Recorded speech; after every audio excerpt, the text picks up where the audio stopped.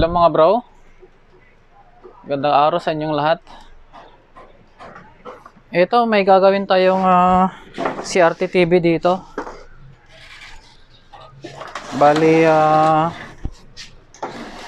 LG ito na 21 inches.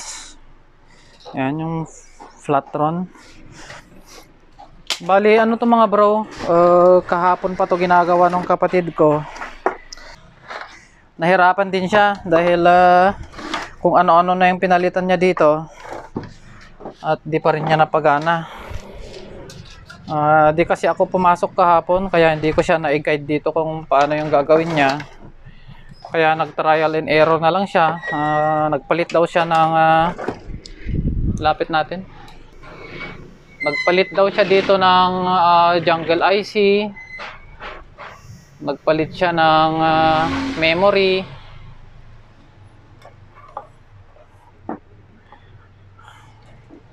Ah, ayaw pa rin niyang mapag hindi pa rin na hindi pa rin niya naayos. Kaya ano na lang ah, titingnan natin ngayon kung anong problema nito. Kasi mayroon namang mga ibang dumating diyan na gagawin. Ah, yun na lang yung gagawin niya. Ah, check natin to ngayon. Bali, ayon sa kanya ay nagpa-power on naman pero hindi siya nag-oscillate. Hindi siya nag-on. Mahinang na din niya lahat yung mga ano dito. Ah, lahat ng ah, parts nahinang na, na daw niya at ah, ganun pa rin wala pa rin hindi pa rin niya mapag-power on. Yan, hahalatadong marami naman ng nahinang mga bro. Okay, ah, kunin natin yung tester natin at uh, magbo-voltage checking tayo.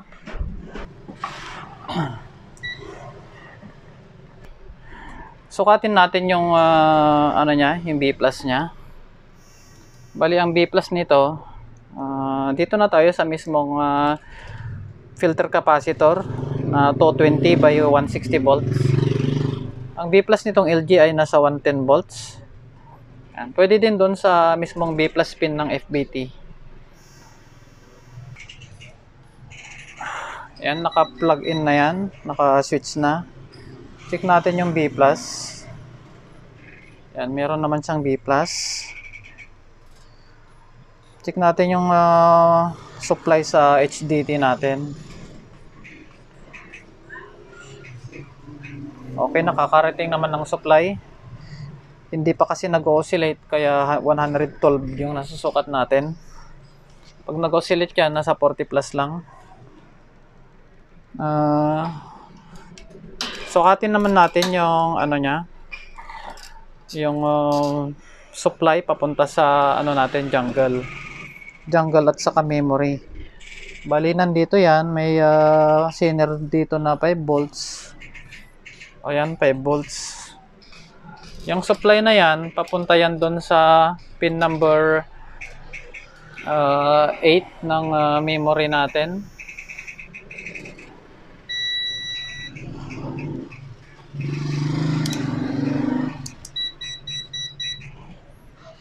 Bali dito yung pin number 8 natin ng memory. Yan, 5 volts. Tapos yung BDD ng uh, IC natin meron siyang supply. Pero uh, hindi siya mag-oscillate dahil uh, walang supply yung uh, ano dito. Hindi nagsi-switch on yung uh, 9 volts regulator dito. Lapit natin yung 9 volts regulator. Yung apat na paa. Bali ang, eh, ang input nito ay uh, check natin yung input Yan, mababa siya kasi hindi siya nagsiswitch. Pero ang input nito nasa 10 volts, 11 volts. Ang out naman niya ay uh, 9 volts. Ayan. Pag uh, sukatin natin yung uh, ano niya, yung uh, papakita natin mga bro, yung top view niya.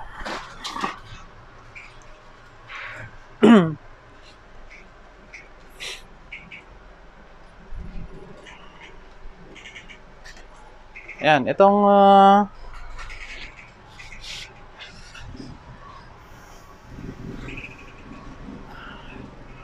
ito mga bro, itong regulator na ito, switching regulator. Bali, Kia 78 RO9.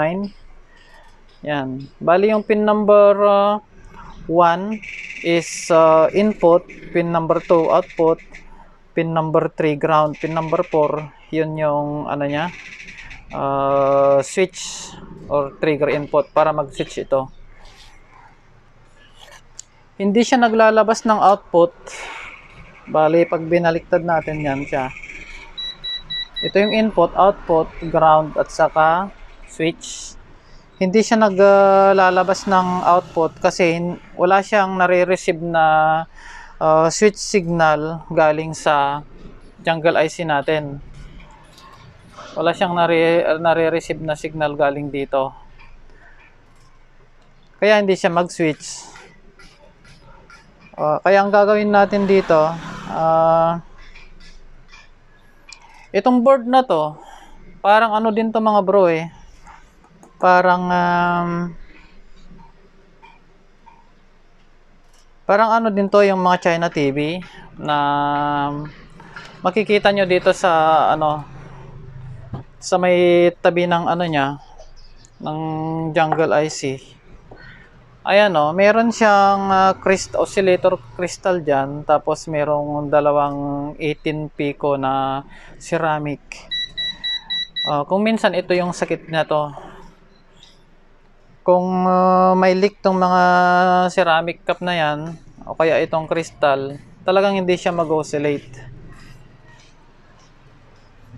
Kaya ang ginawa ng kapatid ko dito, pinalitan niya, kala niya nito. Ah, hindi pa kasi niya alam na yung trouble nito eh. Yung sa China TV, alam na niya. Pero hindi niya akalain na ganito din. Pero i-check natin mga bro to. I-check natin.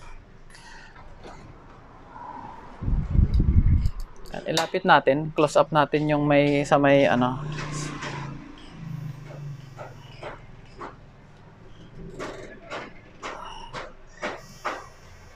Ayan mga bro, yan. Yang may X1 na yan. Ayan.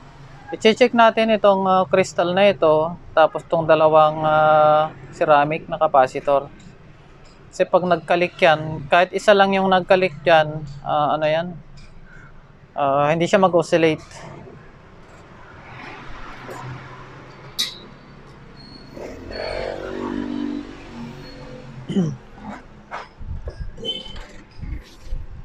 hang muna natin yung ano, ah, mga paa ng ah, ceramic. Nakahang na yung ah, tig-isang paa na, paa nila.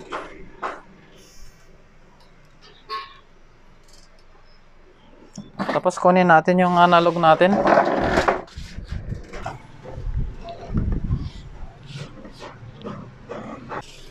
Nasa 100k tayo. Unahin natin tong ano, crystal. Nako, meron mga bro. oh. Teka, siguraduhin natin kung hindi suma baka sumasabit lang.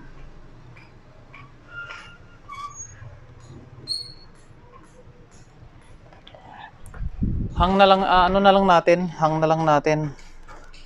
Tanggalin na lang natin. Ayan o. Mapapansin nyo, pag ah, hindi kita sa camera pero ano na siya oh. Dapat ah, walang palo to eh. Ayan oh, pumalo na siya oh. Kabilaan niya no. Nakikita ba sa test? O yan, kikita sa tester. Oh,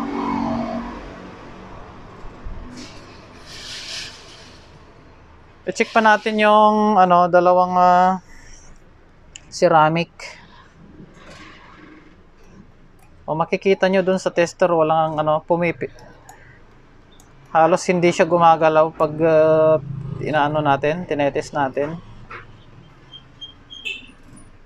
So yung crystal mga bro, yung ah, sira, Di bali marami tayong ganyan, marami tayong board na ano, marami tayong board dyan ng ah, LG na may mga crystal na ganyan.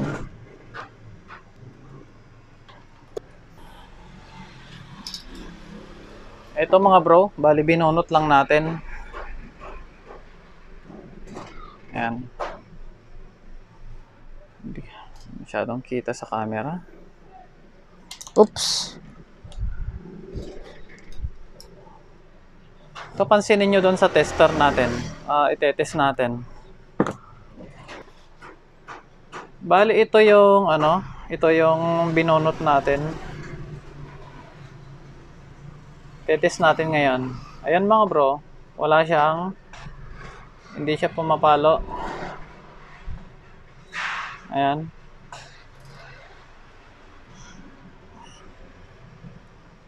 Compare natin dito sa tinanggal natin kanina. Ito yung tinanggal natin kanina. Ayan oh. Oh. Malaking pagkakaiba. Ito yung ilalagay natin. Ayan.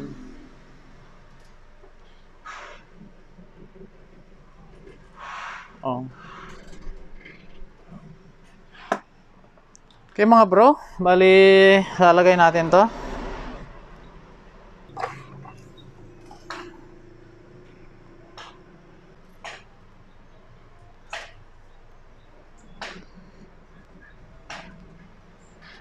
Okay, yan mga bro, nilagay na natin. Okay. Plug in natin mga bro.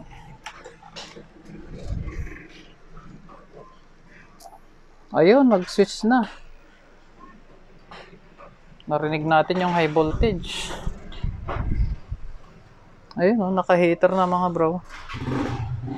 Okay, sukatin natin yung ah, supply dito sa may switching regulator. Ngayong nag-oscillate na siya. Yung input nito, tumas na yan. Yan, nasa 10.6. Tapos yung output niya, 9 volts. Ayan, 9 volts. Kita ba sa ah, ano natin? Okay. Ayan mga bro.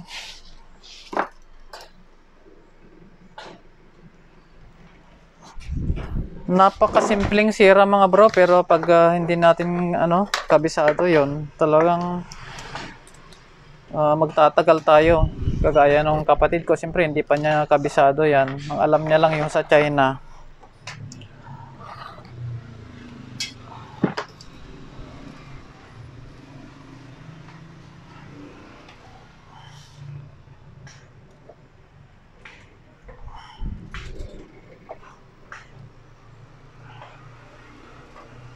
Yan. Okay, lagyan natin ng antena. para ma-achieve mo lahat ng yan. Kasi nandito naman ako lagi to support you. Kasi never ko siyang iniwan ever since na naging kami. Gaano kayo katagal? Ah, 19 months and 9 days.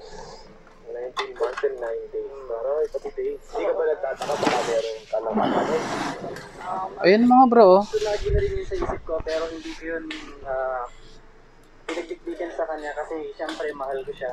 Kaya na nire-respeto ko pa rin siya. Pero dumating sa point na parang eager na akong malaman niya Okay mga bro. bakit niya gusto makita. Sana may natutunan na naman kayo sa ginawa natin ngayon. And sabi niya, Bali, uh, Dibant, ito na 50 inches. Smart TV. Ito yung model number. Ang problema nito ay ah, may nasunog na parts dito sa may ah, controller ng ano, backlight. Ito kasi mga bro yung ah, supply ng backlight niya. Bali, kinat na namin yan at ah, minodify gamit ang ah, backlight driver na ito. Okay naman yung ano niya, yung mga ah, backlight niya, yung lamp. Ang nagka-problema sa ilalim nito mga bro, sa ilalim nitong controller na yan, may nasunog yan na parts, kaya dinisable na lang namin. Bali, simple lang yung connection ng ano, backlight driver natin. Ah, BCC ground at saka yung enable. Yung enable dito, galing din yan sa enable na ah, papunta dito sa power supply na galing sa mainboard. Bali, tinetest lang namin siya ng mga kahit mga 30 minutes pero okay naman mga bro. Ah, hindi naman to umiinit. Magandang klase yung ganitong ah, backlight driver. Kaya nito hanggang sa 65 inches.